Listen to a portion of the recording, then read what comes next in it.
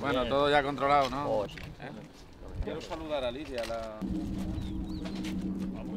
Informe meteorológico. que si no Es habitual. Aparte tenemos lo que ha considerado que tiene situación. Sí, sí, sí, sí. sí.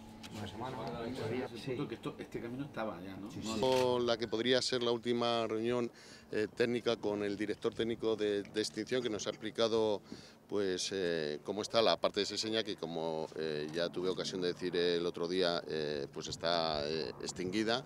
Ahora ya solo falta eh, que la Comunidad de Madrid eh, pues termine también de extinguir eh, la parte que corresponde a Valdemoro que nos están diciendo que entre hoy y mañana consideran que están en condiciones de poderlo apagar, pero bueno, tampoco es que no lo puedan asegurar porque esto no son eh, matemáticas, por lo tanto yo creo que satisfecho quiero aprovechar que eh, se encuentra con nosotros el director técnico de extinción de, de Castilla-La Mancha eh, para felicitarle por el espléndido trabajo y porque al final eh, su tesis de eh, acelerar la combustión mediante el uso de, máquina pesada pues ha tenido unos resultados yo creo que fantásticos y, hemos conseguido que en 20 días hayamos resuelto un problema que en otros países y con unas dimensiones de estas características de aproximadamente 10 hectáreas pues hayan tardado nueve meses. Por lo tanto yo creo que felicitar y felicitarnos, pero fundamentalmente al equipo de extinción que ha estado mucho más allá de la altura de las circunstancias. Y al consejero de Agricultura, eh, en la rueda de prensa que dimos eh, antes de ayer,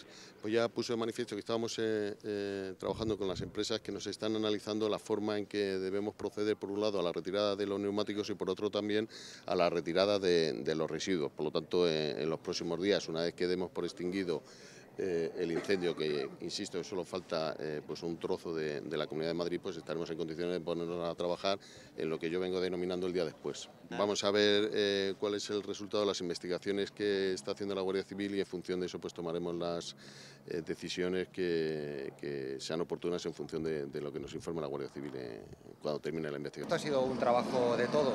Aquí se han unado esfuerzos por parte de la Diputación y del Consorcio de Toledo junto con la colaboración, vamos, importantísima, ya que la Junta ha puesto todos los medios que hemos requerido, eh, sin ningún tipo de reparo en, proporcionarlos tanto medios a nivel de, de gestión de maquinaria pesada, como de medios aéreos, como apoyo logístico, como apoyo a nivel, a nivel de predicciones meteorológicas, o sea, cualquier necesidad que teníamos eh, disponíamos de ella. Nosotros nos hemos limitado a trabajar con los efectivos que teníamos para, para intentar resolver el siniestro lo antes posible y de la forma que decía el señor consejero es reducirlo en tiempo, que era lo importante.